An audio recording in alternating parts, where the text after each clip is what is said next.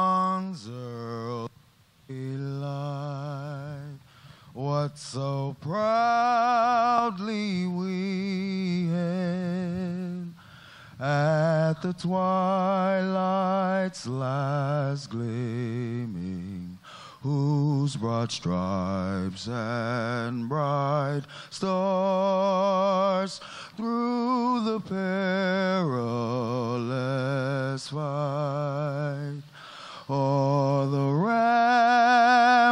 ramparts we watched were so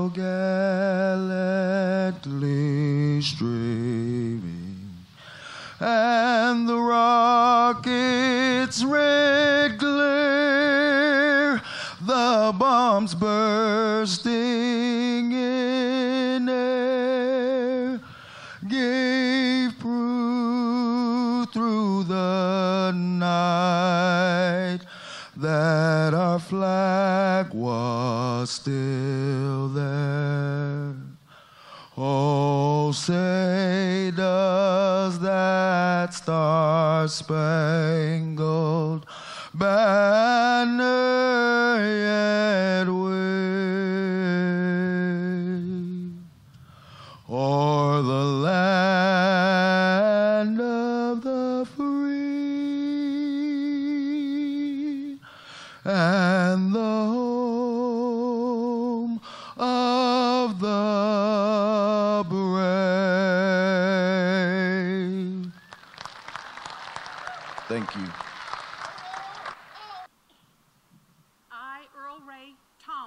solemnly swear I, Earl Ray Tomblin, do solemnly swear that I will support the Constitution of the United States that I will support the Constitution of the United States and the Constitution of the State of West Virginia, and the Constitution of the State of West Virginia, and that I will faithfully discharge the duties and that I will faithfully discharge the duties of the office of Governor of the State of West Virginia of the office of Governor of the State of West Virginia to the best of my skill and judgment. to the best of my skill and judgment. So help me God. So help me God.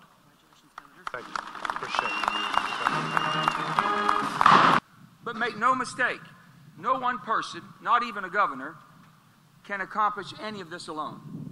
There are so many people who are responsible friends, foes, and allies who fought for the future of our state instead of their own agendas. We didn't always agree, but we always put our state first. And one of those people who made this team so strong is Earl Ray Tomblin, a true public servant who will take our state into the future. I stand here today, a proud son of Chapmanville, West Virginia.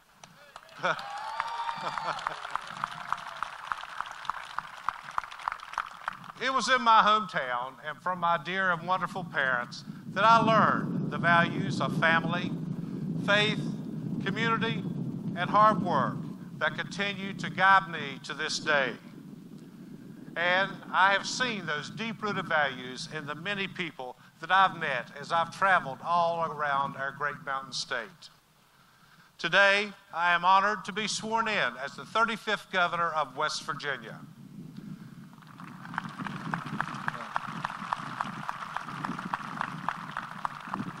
As your humble servant, I will work every day to bring people together to do what is best for all of West Virginia. From the northern and eastern panhandles to the southern coal fields, we are influenced by our geographic locations, but we are united by our desire to move our state forward and make it all that it can be.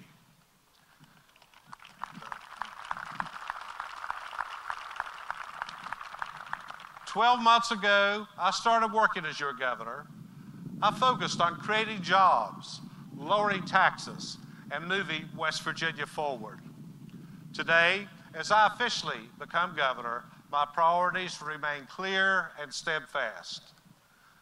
I've had the honor to serve as president of the West Virginia Senate for 17 years, and for the past 37 years, serving in the legislature, I have represented the coal miners, the shopkeepers, teachers, and working people from my district.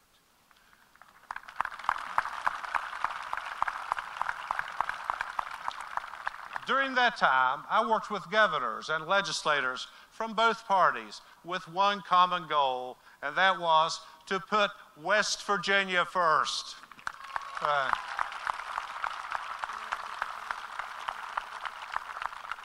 over the past year, you've heard me say those four words very often put West Virginia first.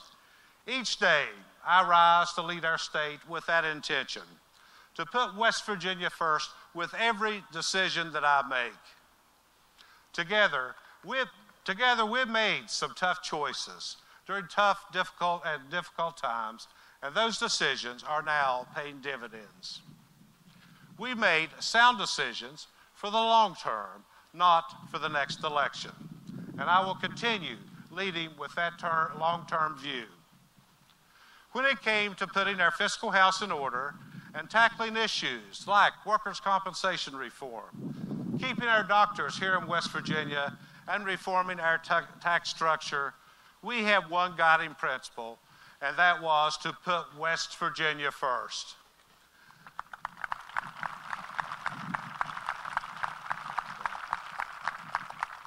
Now, as your governor, I will continue to lead with that focus so that those sound decisions that we make can make West Virginia an even better place for our citizens.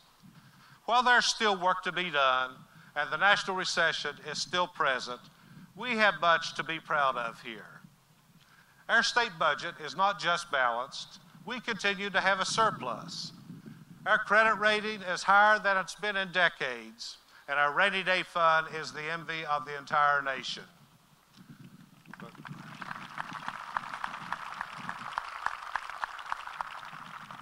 We are cutting taxes for consumers and business alike, and I'm proud to say that by the end of my term, the food tax on, on the sales tax on food will be completely eliminated.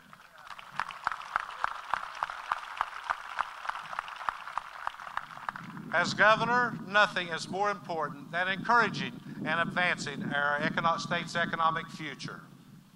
Our unemployment rate is below the national average.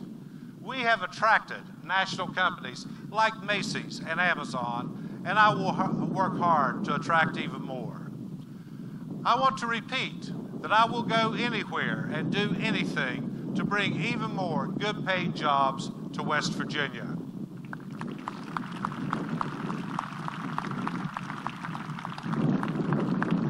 We live, we live in a special place. We are the hardest working people in America. We power the world. Our heritage of being the nation's leading energy provider will continue throughout the 21st century.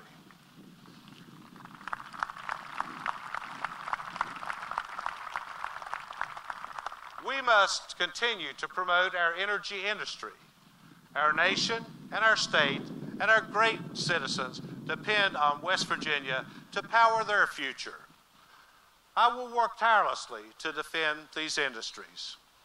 I will fight, I will fight for our state's coal industry, the backbone of our economy.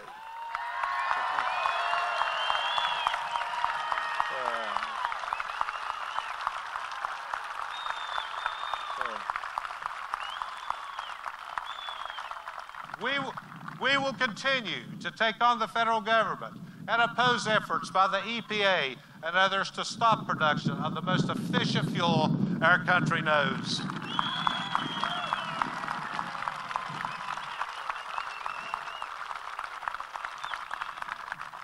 Now, we are on the forefront of new energy sources and new technologies with the development of the Marcellus Shale.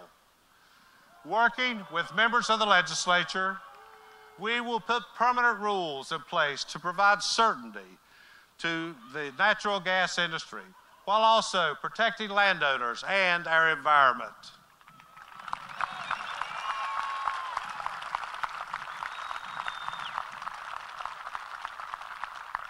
And with this certainty, we will see our manufacturing sector rejuvenated by taking advantage of natural gas byproducts.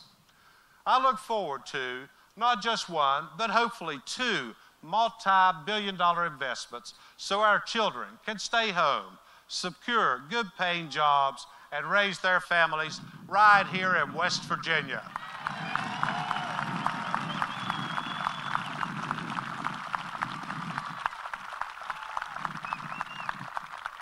To do this, we must work together. I'm a consensus builder. Business and labor can function harmoniously. Republicans and Democrats can work together, and no one part of the state is more important than the other. I will be a governor for all of West Virginia.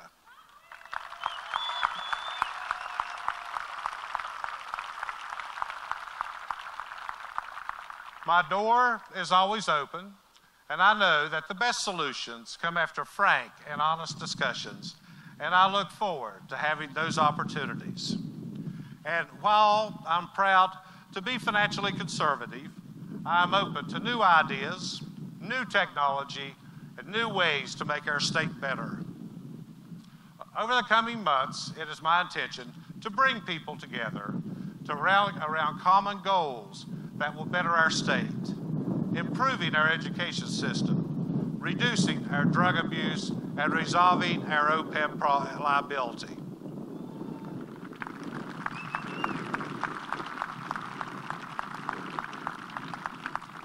I pledge to you that I will show West Virginia's can do spirit, work through any potential gridlock, and make sure that we make progress on those and other critical issues facing our state. We must allow ourselves the opportunity to see all sides of the issues and challenges before us.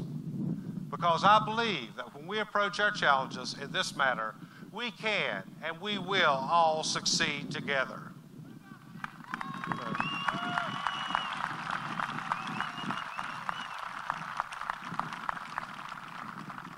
I will represent our state with pride and dignity. I won't let us be taken advantage of, and we will take a back seat to no one.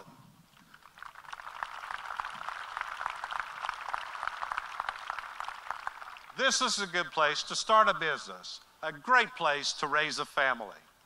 We are strong, resilient, and resourceful. West Virginians make things happen.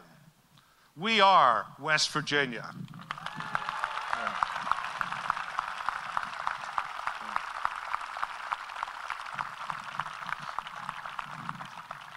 I stand before you today, a common man, upon which you have bestowed a great honor. I'm a man who works hard, shoots straight, loves his wife and son, and wakes up every day thinking about how I can make a great state even greater.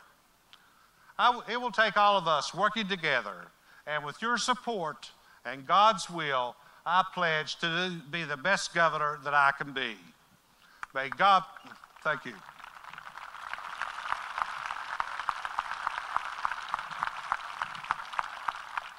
May God bless you. May God bless America. And may God bless the great state of West Virginia. Thank you all so much.